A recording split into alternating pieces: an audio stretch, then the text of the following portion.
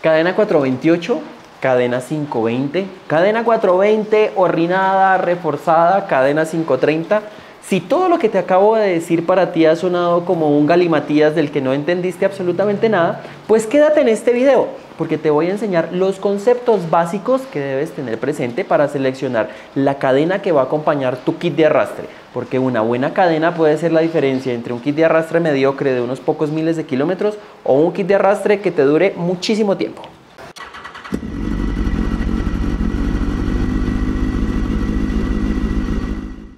El origen de este video viene para explicar algo que nos ha ocurrido en las últimas publicaciones que hemos hecho y es que las personas nos preguntan acerca de qué cadena de utilizar su moto y cuando mostramos imágenes en donde ven una cadena 525 nos preguntan si esa cadena le sirve a motos más pequeñas o a motos para las que la cadena no aplicaría lo que eso nos ha dado a entender por también otras preguntas que nos han hecho que no tienen claro todos ustedes cuál es la diferencia en las diferentes medidas que acompañan las cadenas. Entonces, lo primero que vamos a determinar es el tamaño. Las cadenas vienen dadas por un número. Ese número refleja el tamaño de la cadena.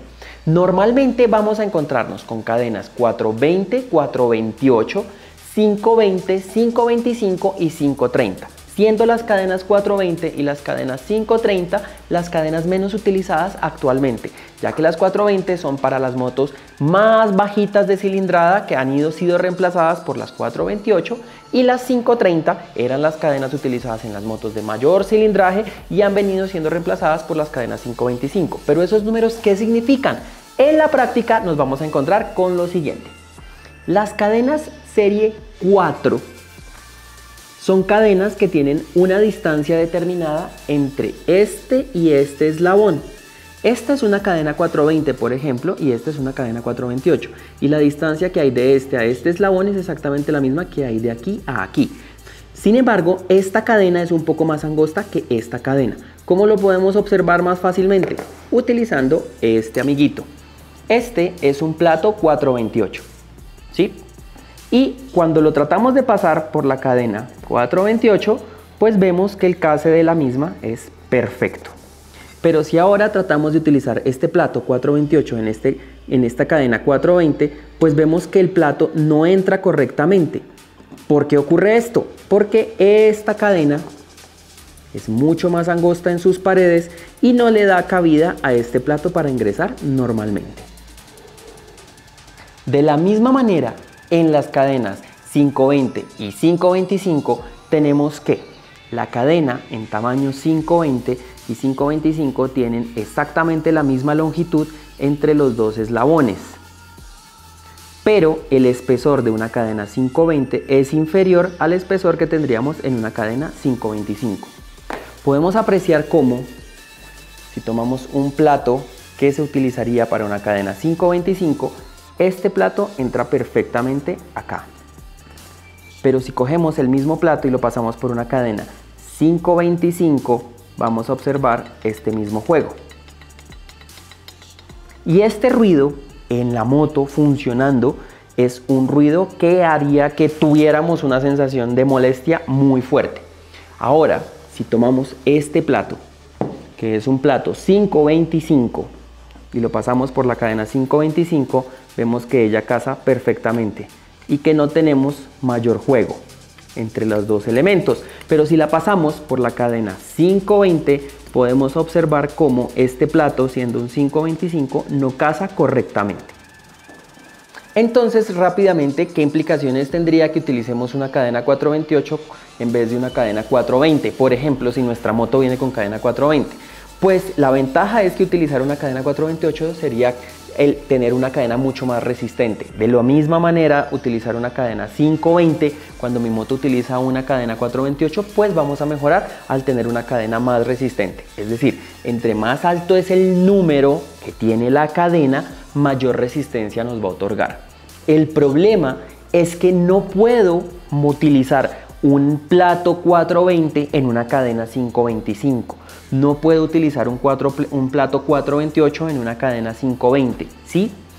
Lo que necesito es que tanto los platos de mi relación del kit de arrastre como mi cadena sean para el mismo tipo. Es decir, si voy a utilizar una cadena 520, debo montar platos que vengan para una cadena 520. Si utilizo una cadena 525, debo utilizar platos para la misma cadena. Por eso se venden los kits de arrastres en conjunto. Ahora, algo que ha ocurrido muy frecuentemente con ciertos modelos de moto. Ejemplo que se me viene a la cabeza, FZ25. Siendo una moto de 250 centímetros cúbicos, utiliza un kit de arrastre 428 y el 428 es un kit de arrastre que debería ser utilizado normalmente en motos de 200 centímetros o menos. Es 200 centímetros cúbicos de cilindrada o menos cilindraje.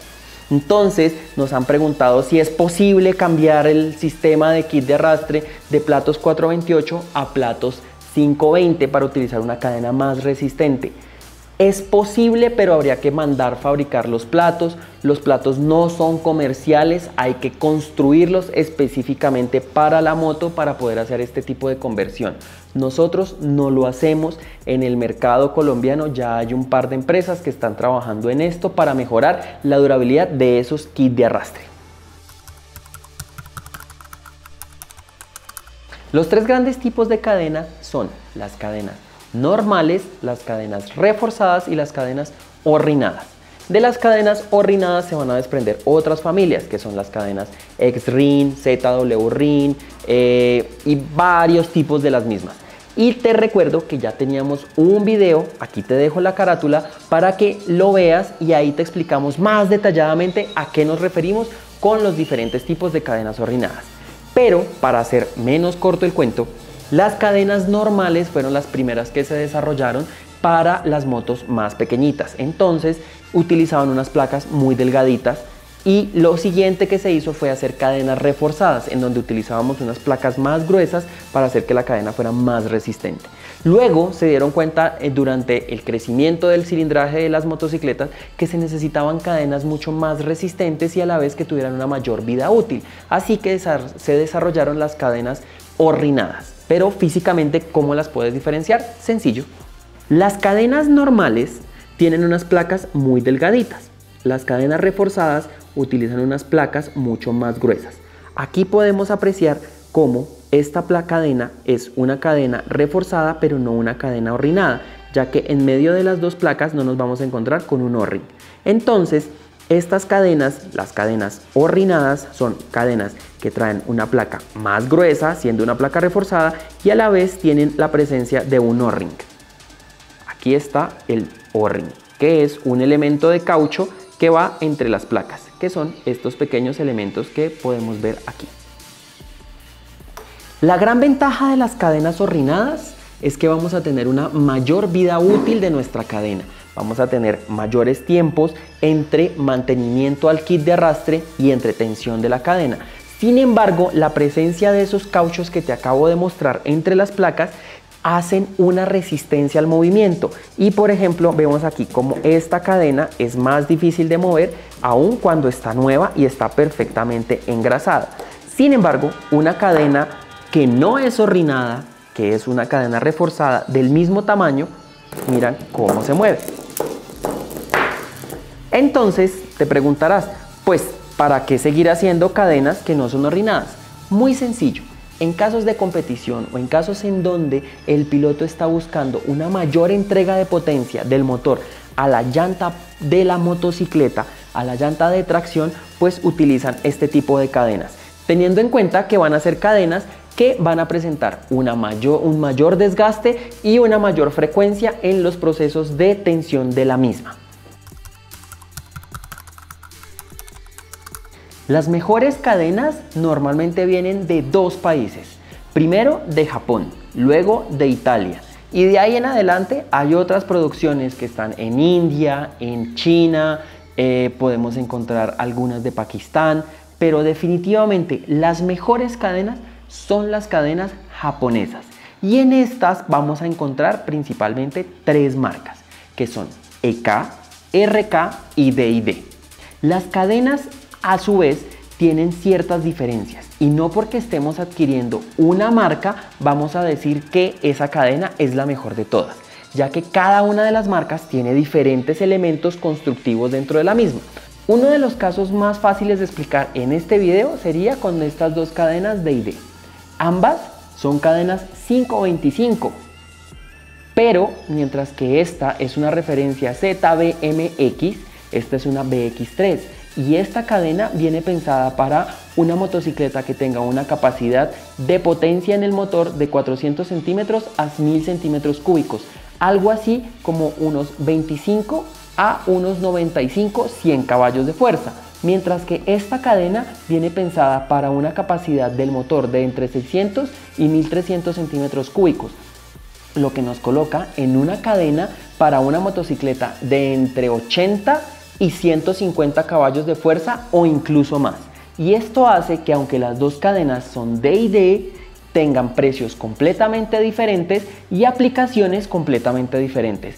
Esto también va a ocurrir en otras marcas, por ejemplo RK o EK, pero el caso más típico es Regina, en donde fácilmente nos podemos encontrar una carátula o una caja completamente igual, pero vamos a tener una cadena que específicamente tiene una capacidad inferior a esta cadena y unos precios completamente diferentes en donde no vamos a percibir diferencia alguna entre las dos cadenas, pero sí una gran diferencia en precio. Así que la próxima vez que compres una cadena, pregunta cuál es la referencia que te están vendiendo y ojalá te muestren el catálogo del fabricante en donde te indiquen la capacidad de la cadena que estás pensando adquirir. Si me preguntan cuáles son las cadenas que yo más recomiendo, obviamente las cadenas japonesas, correctamente seleccionadas. En segundo lugar, las cadenas italianas. Aquí tengo como muestra Regina, pero hay otra marca que se denomina Trofeo, que también ha salido bastante buena. Y en último lugar, definitivamente las cadenas chinas. Son bastante, bastante regulares, hechas en masa, en unas producciones de locura y realmente aplican solo para motos de bajo cilindraje.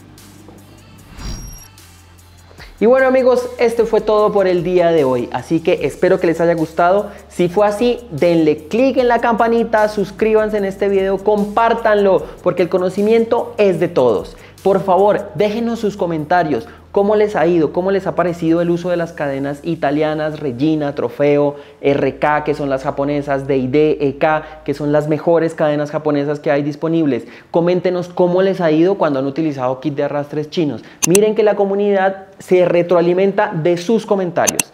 Y no siendo más, nos vemos para la próxima que será dentro de unos 15 o 20 días. Así que, adiós.